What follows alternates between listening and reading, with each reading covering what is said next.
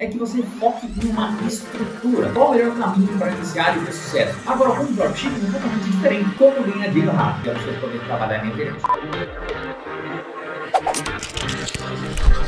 Fala pessoal, aqui é o Guilherme, faço parte aqui da equipe da Gibochat. Nesse vídeo aqui vai ser um pouco diferente. Nesse vídeo eu peguei algumas perguntas, as melhores perguntas que eu selecionei, que as pessoas fazem nos comentários do YouTube. Inclusive fiz um post lá específico para isso também, para você poder perguntar o que você quiser, para que eu possa trazer essa resposta aqui em vídeo com um pouco mais de detalhe, além do que uma resposta somente escrita de duas linhas. E lembrando que toda resposta que eu der, toda pergunta que tiver, vai ter um vídeo, tipo um material a mais, para você entender melhor sobre esse tipo de resposta que eu der, tá legal? E todos esses links, esses vídeos, vão ficar aqui embaixo na descrição. E eu vou listar para você qual vai ser esse tipo de pergunta, qual vídeo vai ser, para você não se perder e ficar tudo mais organizado. Então agora eu vou pegar a primeira pergunta que se fala sobre dropshipping, né? Quando o cliente compra da minha loja, eu tenho que pagar ao fornecedor com o meu dinheiro ou o do meu cliente? Essa é uma pergunta também tanto quanto frequente aqui no canal. E a resposta é basicamente que depende, né? Depende do meio de pagamento que você utilizou. Se você recebe o dinheiro antes, né, de efetuar a entrega para o seu cliente, você pode usar esse mesmo dinheiro, não tem nenhum problema. Já algumas plataformas, algumas ferramentas como o Mercado Livre, como a Shopee, entre outros também, você sempre vai receber, dependendo talvez até mesmo do seu nível, né, que você tem ali na plataforma, dependendo da plataforma também, pode ser que você receba antes, não tem nenhum problema. Mas na maioria das vezes, você só vai receber esse dinheiro que você vendeu ali no anúncio depois do produto ser entregue. Ou seja, para você entregar o produto,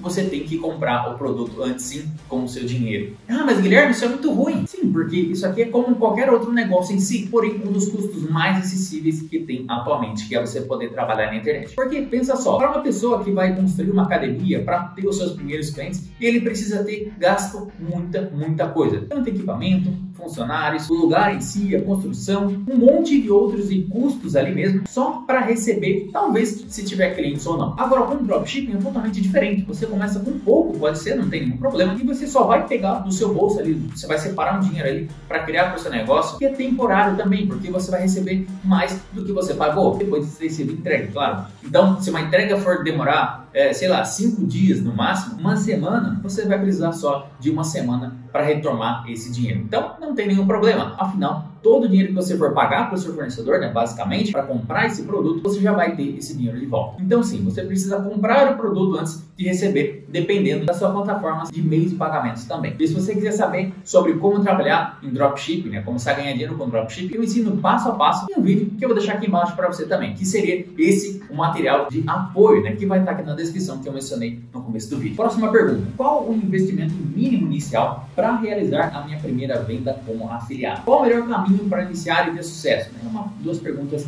em uma só. Então, deixa eu responder qual que seria a primeira pergunta ali, né? Que quanto é um investimento mínimo inicial para realizar a primeira venda como afiliado? E a resposta é que depende qual tipo de investimento você está falando. Se for investimento financeiro, não tem como afirmar nada sobre isso. Agora, se você não quiser gastar com isso, né? O investimento seu será o tempo. Então, são dois tipos de meios, caminhos diferentes para você poder vender como afiliado. Ou você não vai gastar nenhum dinheiro, mas você vai gastar mais tempo, ou você vai gastar menos tempo, ou você vai gastar mais dinheiro. Algum desses esses dois você tem que seguir. Ou você vai gastar mais tempo, ou você vai gastar mais dinheiro. E via de regra, para você que está aprendendo a começar com tráfego pago para investir dinheiro no caso, pode ser sim que no começo você erre bastante, ou seja, perca dinheiro. O ponto é a única solução que eu vejo aqui nessa situação, nessa ocasião, é você aprender a utilizar a ferramenta antes de você queimar dinheiro à toa, né? Então, aprenda com os melhores, sei lá, compre um curso onde vai valer cada centavo do seu conhecimento, afinal você vai usar para sempre todo esse conhecimento e com certeza você vai gastar ainda menos, mesmo que comprando um curso, você vai gastar muito menos do que torrando o seu dinheiro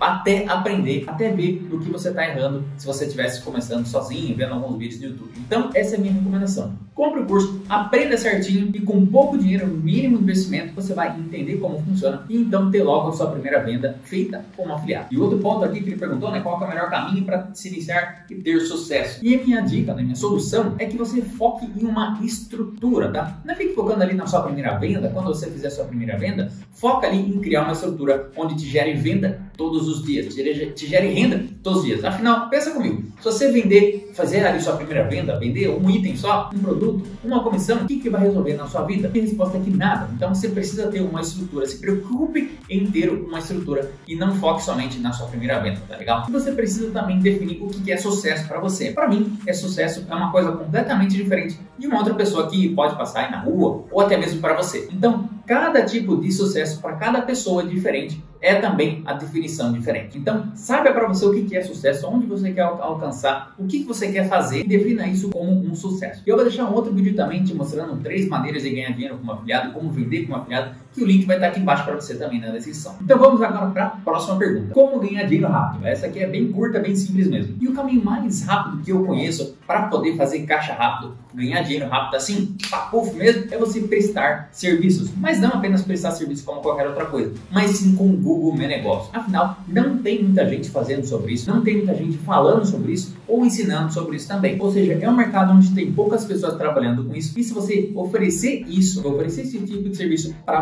vários negócios locais que estão faltando sobre isso, né? ou seja, ter sua ficha atualizada ali no Google Meu Negócio, para ser encontrada no Google como um restaurante, como uma pizzaria e tudo mais, a única solução que eu vejo para fazer caixa rápida é você sim prestando serviços com o Google Meu Negócio. Afinal, é uma coisa muito simples de fazer, muito rápida de se aprender e você tem muitos clientes que você pode atender no seu bairro, na sua cidade ou todo o Brasil. Afinal, todo negócio, todo micro, pequeno negócio, todo negócio local precisa desse tipo de serviço. Então, se você aprender, você tem grandes clientes que você pode ser encontrados tanto na internet, na sua cidade, no seu bairro. Para você aprender um pouco mais sobre isso também, vou deixar um outro vídeo te explicando sobre o que é o Google Negócio, como ganhar dinheiro com isso. Eu vou deixar o link aqui embaixo para você. E a quarta e última pergunta para finalizar aqui, a pergunta é o seguinte: para a loja de dropshipping, como é enviado o produto? Com o nome da loja do fornecedor ou da minha loja? E o ponto é que eu quero que você entenda, né? Quando você fala qual vai ser o nome da minha loja, se vai ser do fornecedor ou vai ser o meu, entenda que quando você anuncia ali na internet, você está tomando a responsabilidade de entregar aquele produto. Como você vai entregar o produto?